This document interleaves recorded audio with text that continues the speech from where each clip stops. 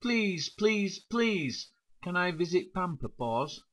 I promise I will behave from now on, and not chew on your slippers or anything else you leave lying around, if you take me. Last time I went to Pamperpawz you have no idea how amazing it was. Nicole made a right fuss of me. She gave me the best bath ever, followed by a blow dry. We even had a playtime. The manicure and pedicure was out of this world. I felt ever so special as she only has one customer at a time, so I get all the attention.